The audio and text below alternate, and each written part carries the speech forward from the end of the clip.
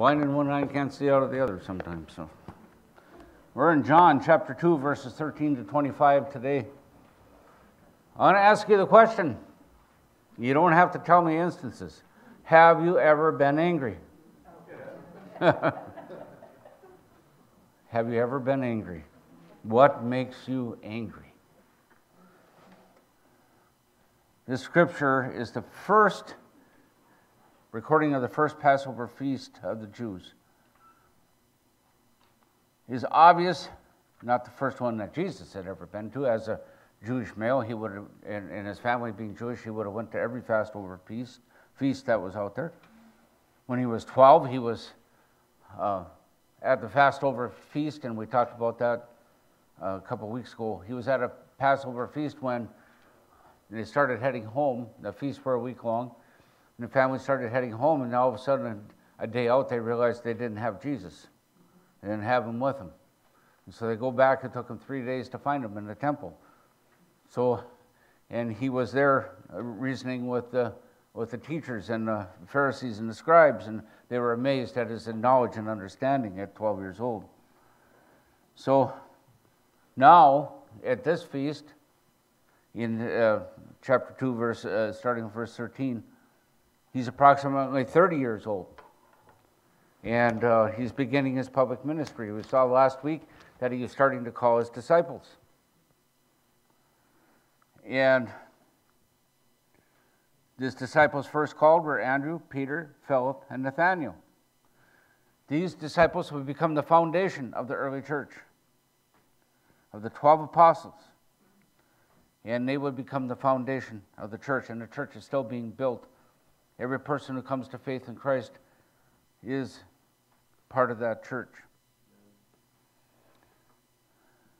And Peter identifies him as the Christ as the Son of God in Matthew 16 and 8, 16, 18 and following. Jesus told him that, that this uh, witness would be the rock on which he would build his church and it's still being built today, as I said before. John has spent the last entire first chapter, John the Baptist, John the Apostle, building a case for Jesus being Lord, the creator of the universe. So he, the, he, he spent the first chapter doing that, all, all these verses as a witness. Even in chapter 2, t- turning water into wine, was a witness of who Jesus really is. He set aside the laws of nature. I don't know how long it takes to make wine because I've never made it, but it takes more than five minutes. And so he was able to convert water into wine, setting aside the laws of nature. But there's a more important message in that. Of course, we talked about last week. The message is that Jesus is the very best that God had to offer. Anything else up to that point Anything else before him was second best, but always pointing forward to the best. Jesus was the very best wine. So in John uh, chapter 2, verses 13 to 25, I've entitled this, Have You Ever Been Angry?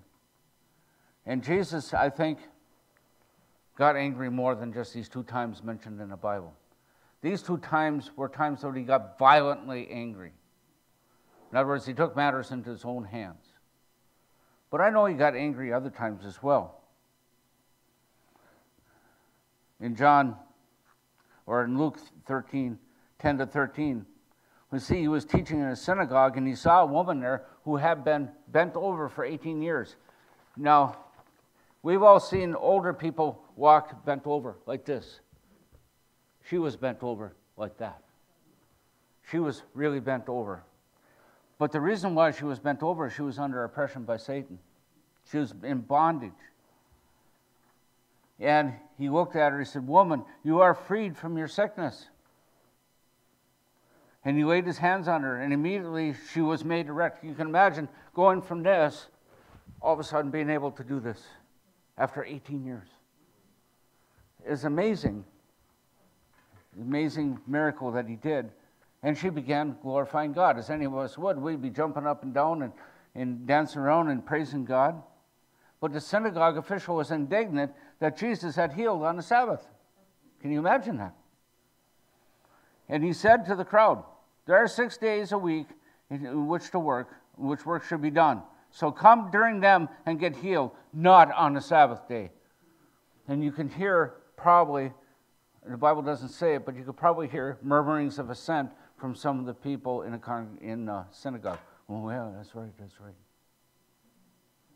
Jesus was incensed almost. He said, You hypocrites, which one of you would not untie his donkey from the stall and lead him away to water him? This woman, who is a daughter of Abraham, as she is, whom Satan has bound for 18 long years, should she not have been released on, from this bond on the Sabbath day? As he said this, his opponents were being humiliated.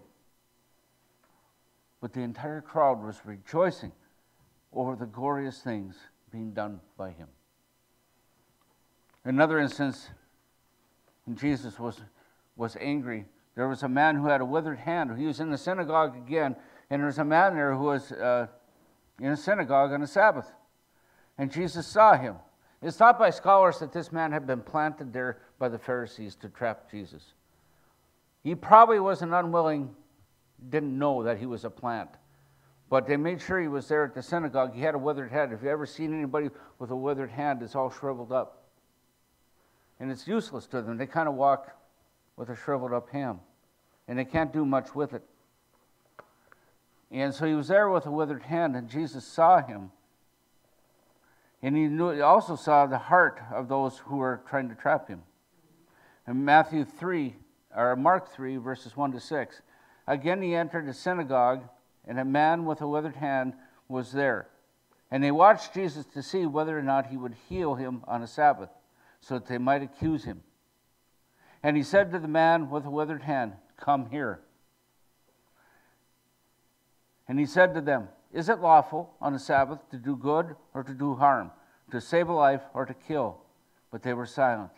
And he looked around them, around him with anger, grieved at their hardness of heart. He said, Stretch out your hand, and the hand was restored immediately. The Pharisees went out and immediately took counsel with the Herodians against him, how to destroy him. Here we see the difference between religion and relationship, don't we? Religion has rules. You must follow the rules. There's rules in Christianity. They're called the Ten Commandments. There are rules. Do not kill, do not steal, do not uh, bear false witness. There are lots of, lots of rules, but Jesus is looking for a relationship with Him. People, the Pharisees were good at keeping rules, not so good at relationship with Jesus. So we're now at the Passover, Passover feast of the Jews, and Jesus went into Jerusalem. Since Jerusalem uh, was higher, actually Jesus went up to Jerusalem. Since Jerusalem is higher than the surrounding area all around it, no matter which direction you came from, you're always going up to Jerusalem because the elevation is higher. So they went up to Jerusalem, and he used that very fact that Jerusalem is higher than other than the surrounding areas. In his Sermon on the Mount, he said, "A city on a hill cannot be hidden."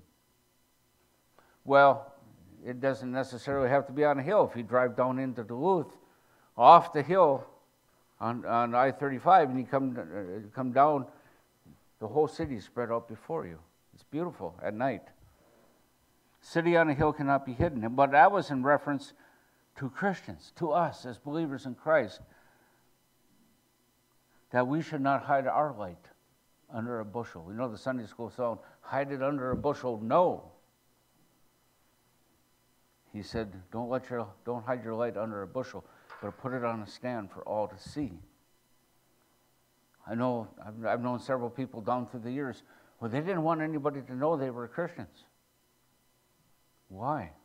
Because they didn't want the ridicule that they would receive if other people knew they were Christians. So, as Jesus went up to Jerusalem, is what he found in the temple that infuriated him. Like I say, this is one or two times it mentions in the Gospels that he was violently angry. verse 14. And he found in the temple those who were selling oxen, sheep, and doves, and money changers seated at the tables. Now you can imagine the commotion that's going on here.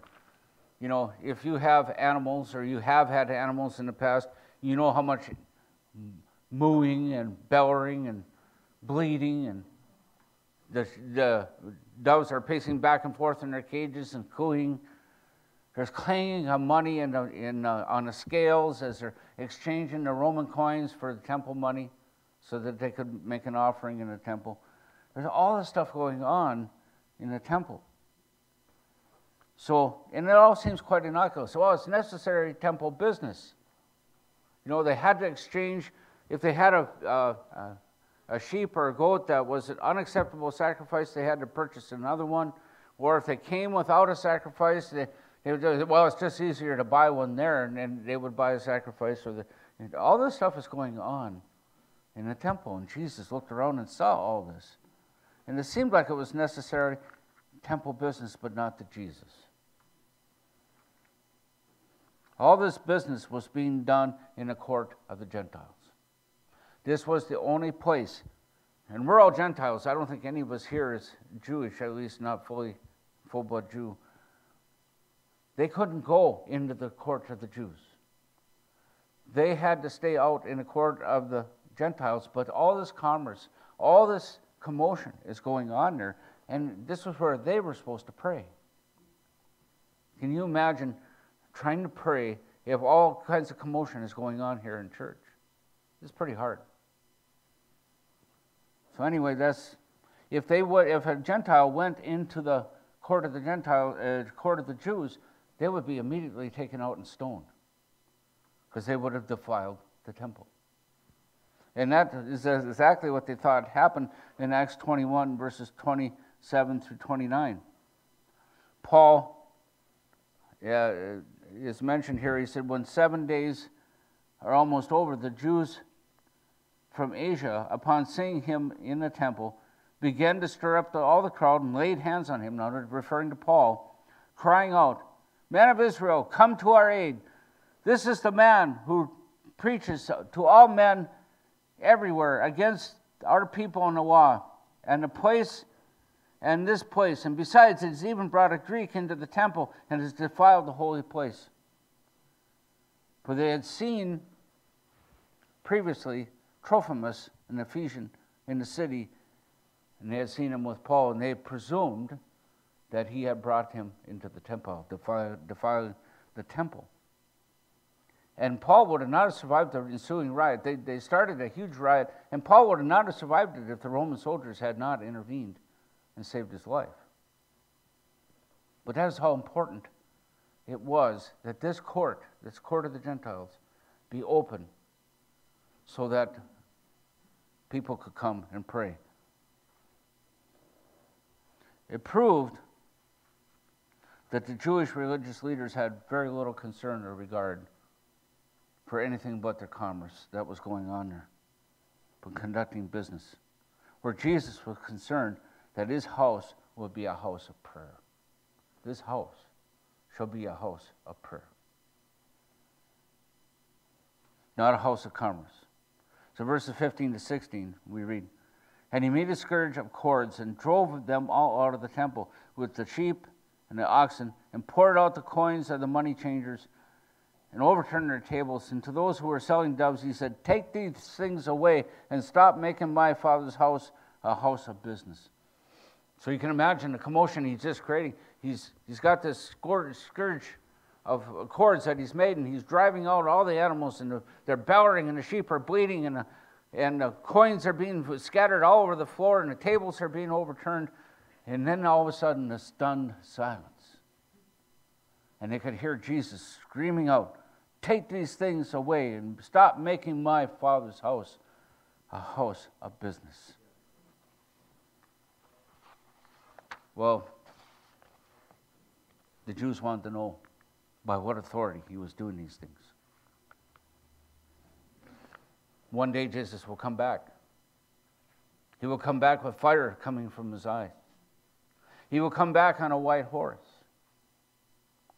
He will come back with a sword protruding out of his mouth, the word of God. He will come back with a name written on his thigh King of Kings and Lord of Lords. And he will come as a conquering king. Jesus came into the temple on a donkey. That meant he come in peace. The next time he comes, he will come on a white horse. And he will come as a conquering king, King of kings and Lord of lords. There will be no question of his authority at that time. But on this day there was. They wanted to know by what authority he was doing these things. Verse 18 The Jews said to him, What sign do you show us as to your authority for doing all these things? In other words, they're saying, How dare you upset the apple cart here? How dare you kick all these people out of here? How dare you overturn and make all this commotion, overturn the money changers? How, who gave you the authority to do this? Well, we've been reading in chapter 1 the authority that Jesus had, creator of the universe. Creator of the universe, the world, and everything in it. He is God in the flesh.